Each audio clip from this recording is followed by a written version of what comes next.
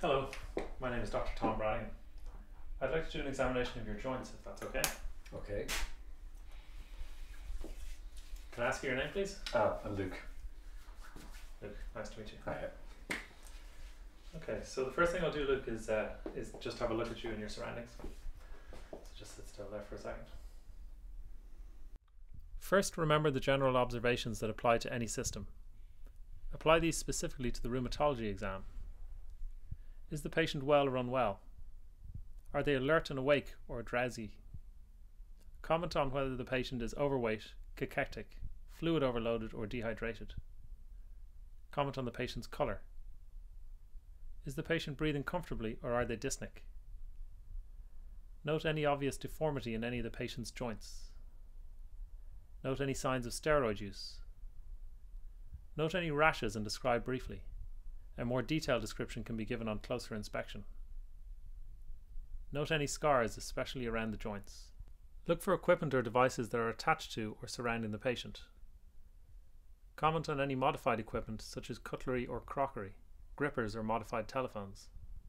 Note any mobility aids. Note the location of the patient. For example, they may be on a general ward or a high dependency unit. Note any signs around the bed. When performing a rheumatological examination, you must look, feel, and move every joint. The first joints examined are the joints of the hands. On examination of the hands, consider the skin, joints, muscles, and nails.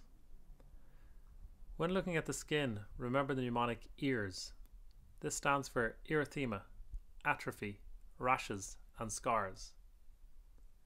Start by looking at the skin of the dorsum of the hands using the mnemonic EARS. Then look at the palms. Next, look at the joints for swelling and deformities. There are several joint deformities that may be seen in rheumatological disease. Be able to recognize these. Note any muscle wasting. Inspect the nails for spooning, splinter hemorrhages, onycholysis, pitting, ridging, or discoloration. Next we move on to feel the joints. First feel for warmth over the joints by palpating with the backs of your fingers. Compare left and right. Okay, I'm just going to squeeze your joints between my fingers, just let me know if I'm hurting you at all. Next check each joint for tenderness by compressing each joint between the thumb and index finger, with enough force to cause blanching of your own fingernail.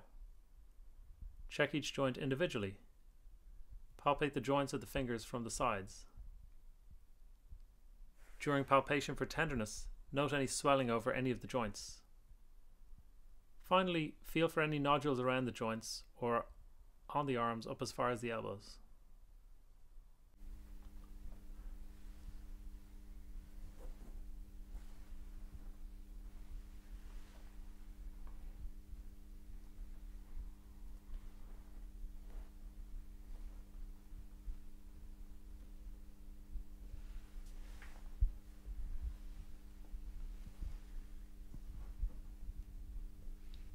So I'm just, I'm just going to move your hands through the normal range of motion. So if you could just lift your hand up again. Is that causing any pain or discomfort? No. No. Next, move the wrist joints passively through their normal range of motion by moving through flexion, extension, radial, and ulnar deviation. Move the joints of the fingers by fully flexing the fingers and then fully extending them. Check for volar subluxation at the metacarpophalangeal joints. Okay, so now I'll get you to move through the normal range of motion yourself. So Luke, could I get you to raise your hands and bend your wrists down like this? Next, test for active movement by asking the patient to move their wrists through their normal range of motion by moving through flexion, extension, radial and ulnar deviation. Ask the patient to form a fist and then fully extend their fingers. That's great. Now if I can get you to uh, make two thumbs up. Ask the patient to move their thumb through flexion, extension, abduction, adduction, and opposition. And now if you could make a ring between your thumb and your index finger, and then your middle finger, your ring finger, and your little finger. That's great. Okay, now I'm going to get you to if you could just grip my fingers. To check for functional ability of the fingers, ask the patient to grip two of your fingers with each hand and squeeze. Ask the patient to pick up a pen and write their name. Ask them to do this or simulate it with both hands.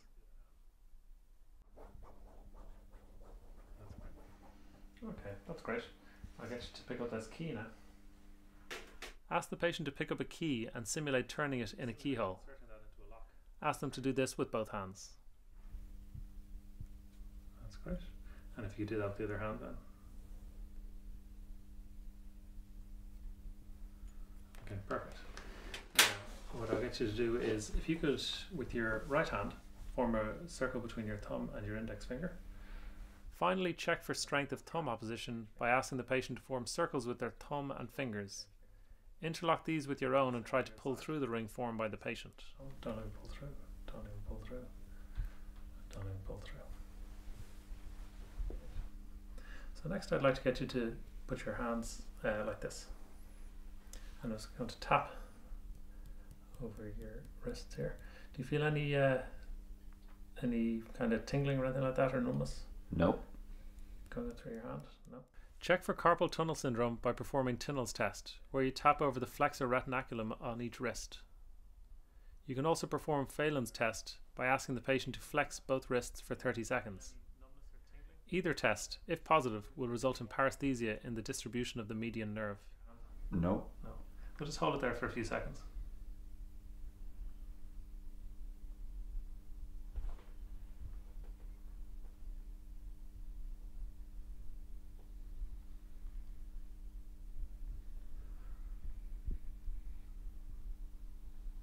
Feels okay, does it?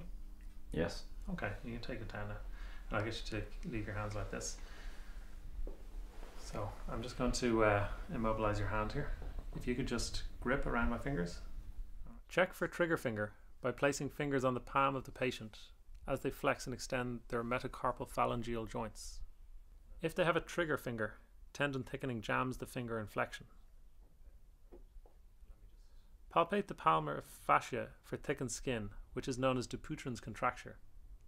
The palmar fascia collagen changes from type 1 to type 3, which is thicker and tethers to the flexor tendons, causing a fixed flexion deformity of the fingers. Test for this by doing a Hueston tabletop test. That's perfect. Thank you. Right. That's great. I'm going to move on to the elbows now. For the elbows, consider the skin, joints, and muscles. When looking at the skin, remember the mnemonic ears. Next, look at the elbow joints for swelling and deformity. Nodules may also be visible. Okay, have you any pain in your elbows? Nope. I'm just going to. Next, we move on to feel the elbows. First, feel for warmth with the backs of your fingers. Compare left and right. Next, check each joint for tenderness by compressing each elbow between your fingers.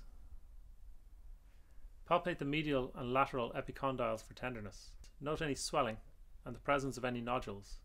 So I'll get you to move your elbows. I'll get you to uh, stretch them out like this. Next, move the elbow joints passively through their normal range of motion by moving through flexion, extension, pronation, and supination. Test for active movement by asking the patient to move their elbows through the normal range of motion by moving through flexion, extension, pronation, and supination. So, could I get you to raise your left hand, please? Okay, and could I get you to uh, push your hand up against my hand there? To check for lateral epicondylitis or tennis elbow, ask the patient to dorsiflex their wrist and especially their middle finger against resistance. This results in pain over the lateral epicondyle in tennis elbow. To check for medial epicondylitis or golfer's elbow, ask the patient to flex their wrist against resistance. This results in pain over the medial epicondyle in golfer's elbow. And against my hand. Any pain on the inside of your elbow? No. Okay, that's great. Thank you. So next, I'm going to focus on your shoulders. For this part, could I get you to take off your t-shirt, please? Sure. Position the patient initially sitting, but later standing, with their arms, shoulders, and torso fully exposed. Women may keep their bra on. Okay, I get you to put your hands kind of high on your hips there. On examination of the shoulder, consider the skin, joints, and muscles. When looking at the skin, remember the mnemonic EARS, which stands for erythema, atrophy, rashes, and scars. Look at the shoulder joints for swelling and deformity. Note any muscle wasting. Okay, look, I'm just going to feel around the joints in your shoulders. Next, we move on to feel the shoulder joints.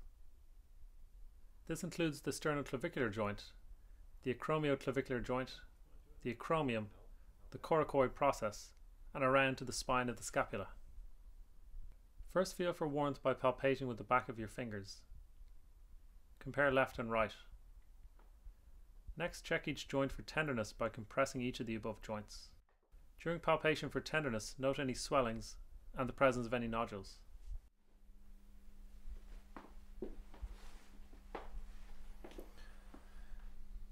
So Luke, could I get you to stand up please?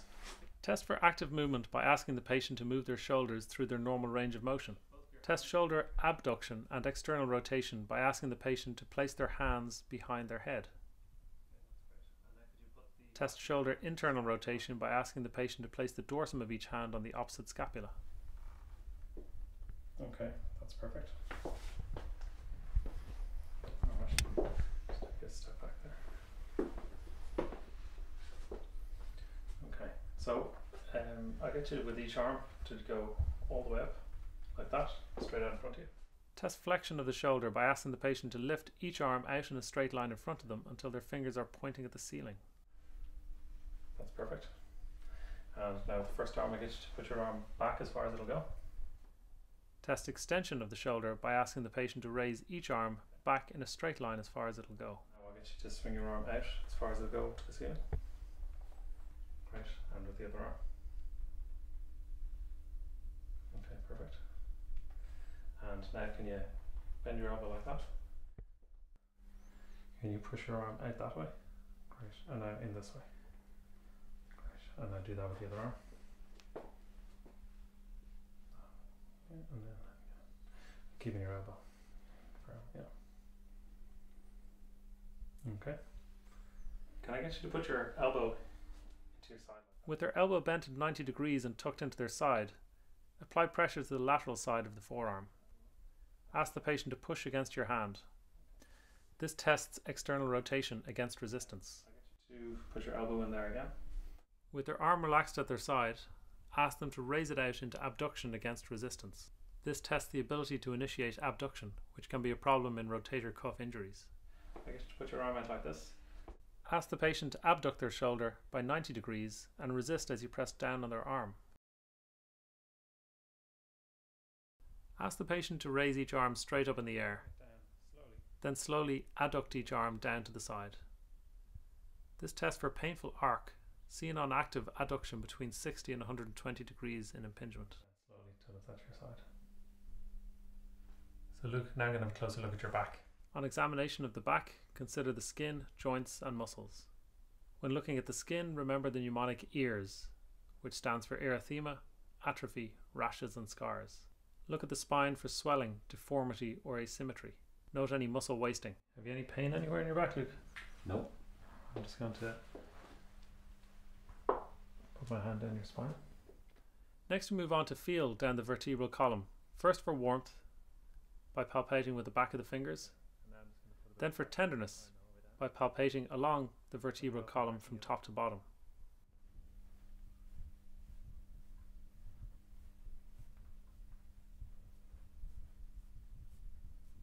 Any pain there anywhere? Nope. No pain. Okay. All right. Now I'm just going to um, press on the muscles beside your spine. Palpate the major muscle groups of the back adjacent to the spine. Any pain anywhere there? In a patient complaining of fibromyalgia, palpate the relevant trigger points. The other side.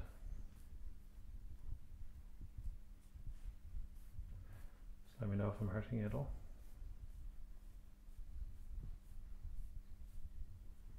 Test for active movement by asking the patient to move their back through the normal range of motion. I'm going to get you to go through the normal motions of the, of the back. So for the first one, what I'd like you to do is just lean forward and bend down as far as you can towards touching your toes. Test flexion of the spine by asking the patient to bend down and touch their toes without bending their knees. Okay, that's fine. You can stand up. And I'll get you to lean back as far as you can. Test extension by asking the patient to lean back as far as they can go. Place a hand behind them as support in case they lose balance. Slide your hand down your leg towards your knee as far as it'll go. Test for left and right lateral flexion by asking the patient to slide their hand down their leg as far as they can and then return to the starting position. Any pain there at all? No. Okay. And I'm just going to put my hands on your hips to stabilize them. I want you to twist as far as you can to the left. Finally, check for left and right rotation of the spine by asking the patient to rotate their body as far as they can to the left and right and back to the starting position while immobilizing their hips. So you're going to have to put a little mar- a couple of little marks on your back. Is that is that okay? That's okay. Schober's test is done next. Locate the posterior superior iliac spines. At the point halfway between these, make a mark.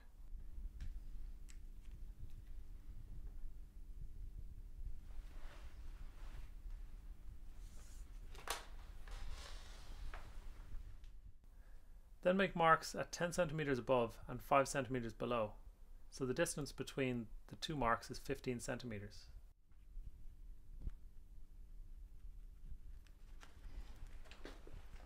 Okay, Luke. Uh, so what I need you to do now is measure the distance between these two marks again.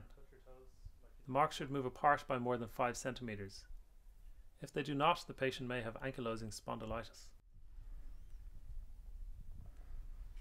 Okay, that's perfect. Thank you.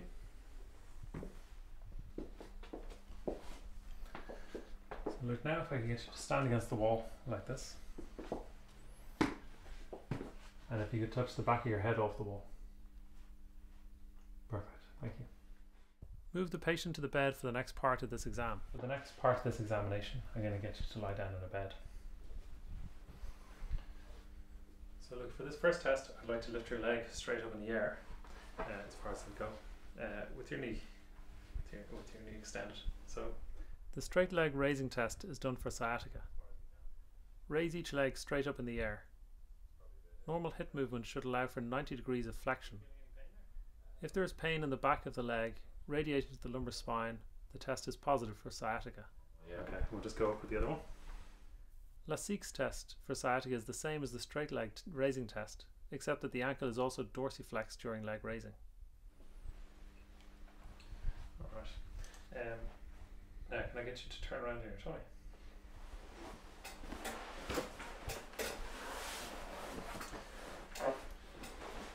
And using this leg, can you bring your heel up to your bum?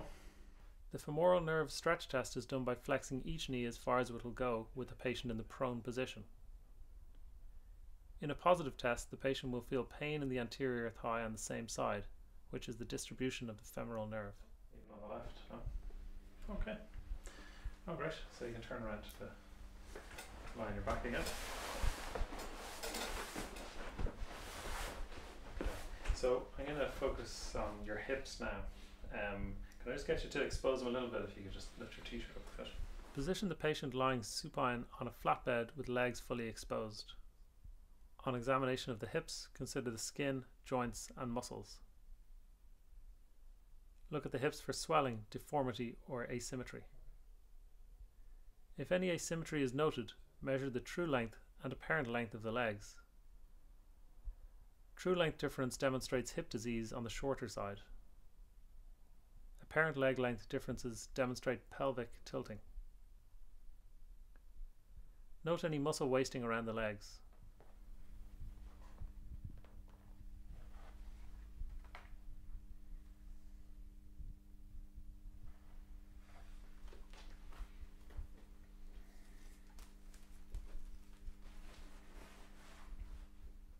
Palpation consists of locating the anterior superior iliac spine, the pubic tubercle, and from these the inguinal ligament. Palpate these landmarks and also the midpoint of the inguinal ligament for hernias. Locate and palpate the greater trochanters bilaterally. Passive movement of the hip is carried out with the patient initially lying supine. First one is uh, flexion. So test for flexion by stabilizing the iliac crest with one hand and flexing the leg with the other hand. Bring each knee up to the chest, allowing the knee to flex at the same time. Test each leg. Test for abduction and adduction by stabilizing the iliac crest with one hand and abducting the hip out as far as possible and then moving it back to the starting position. Test each leg. Is that okay? It is. Test for internal and external rotation by flexing both the hip and knee 90 degrees and then moving the knee laterally for external rotation and medially for internal rotation. Test each leg. Okay.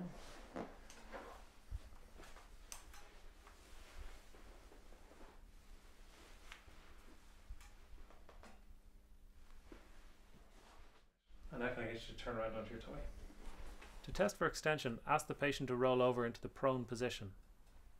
Stabilize the pelvis with one hand over the sacroiliac joint. Extend the hip by raising the leg off the bed. Test each leg. That feel okay? That's good. Okay.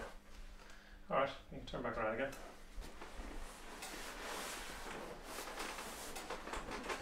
That's one of the tests I'd like to do. Could you bring both your knees up to your tummy? To check for a fixed flexion deformity, perform Thomas's test by flexing both hips fully. Then allow one leg to extend fully. Thomas test is positive if the patient cannot extend the leg fully. Alright, so I'm just going to focus a little bit more on the knees now. On examination of the knees, look at the skin, joints, and muscles. Look at the knees for swelling, deformity, or asymmetry. Note any leg muscle wasting. Next, move on to feel the knees. Any pain around the knees? No. Feel for warmth with the back of your fingers. Compare left and right. Perform the patellar tap to check for moderate to large effusions around the knee.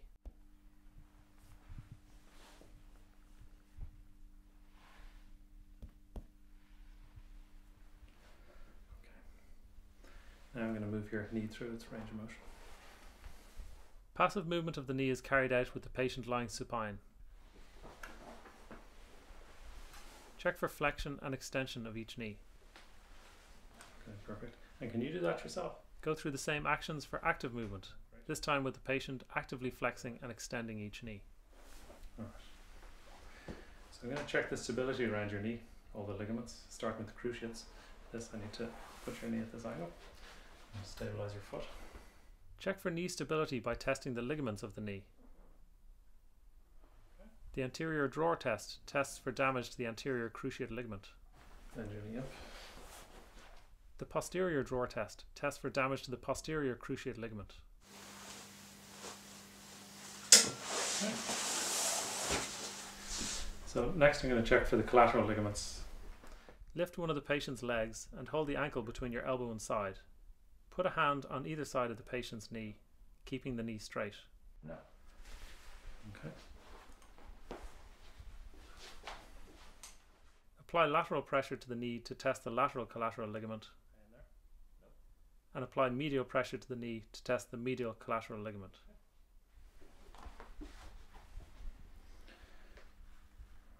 So I'm going to check for the menisci. Perform McMurray's test for meniscal damage.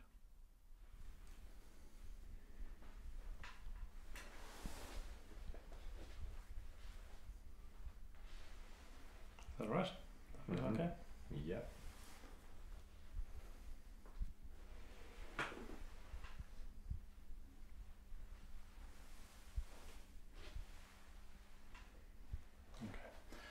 Do that on the other side then.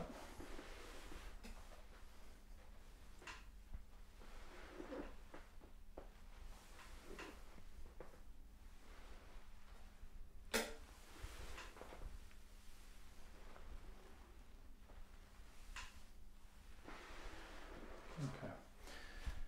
So could I get you to turn around onto your stomach then, please? Next, move the patient to the prone position. Flex the knee to 90 degrees and perform Apley's grind test. Push down. So just let me know if you feel any pain. Test is positive if there is a click or popping of the knee, or this test induces pain. Repeat for both knees. 90 degrees. So like any pain there. No. No. With the patient in the prone position, Examine the popliteal fossa. Check for the presence of a Baker's cyst or a popliteal artery aneurysm. Okay, can you turn back around then onto your front or onto your back? I'm just going to focus now on your ankles. Any pain in your ankles? No. No. On examination of the ankles and feet, consider the skin, joints, muscles, and nails. Remember the mnemonic EARS, which stands for erythema, atrophy, rash, and scars. Look for the ankle joints and joints of the foot for swelling or deformities. Note any muscle wasting. Luke, do you have any pain in your feet? No.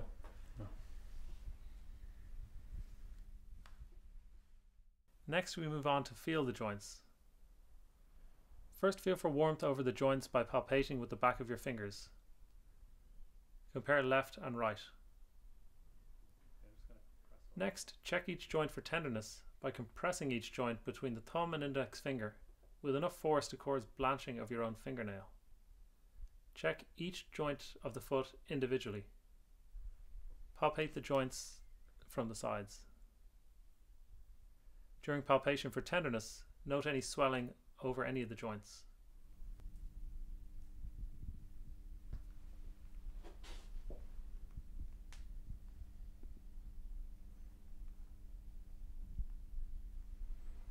Okay.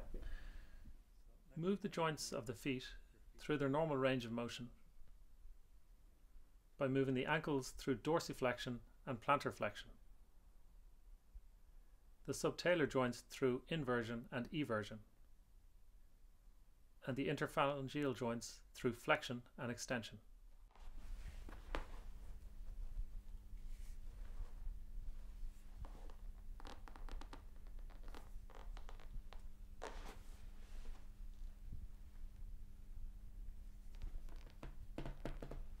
Okay, so look, could I get you to go through those motions yourself uh, actively? So, if you could. Uh, next, test for active movement by asking the patient to move their ankles through dorsiflexion and plantar flexion, their subtalar joints through inversion and eversion, and their interphalangeal joints through flexion and extension.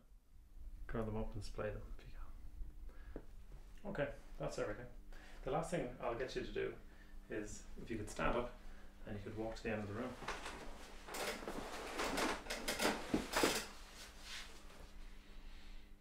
Assess the patient's gait from the perspective of balance, rate of walking, how they hold their arms and legs, presence of any recognizable gait disorders such as hemiplegia, spastic paraparesis, shuffling gait, ataxic gait, foot drop, Trendelenburg, or the waddling gait of proximal myopathy.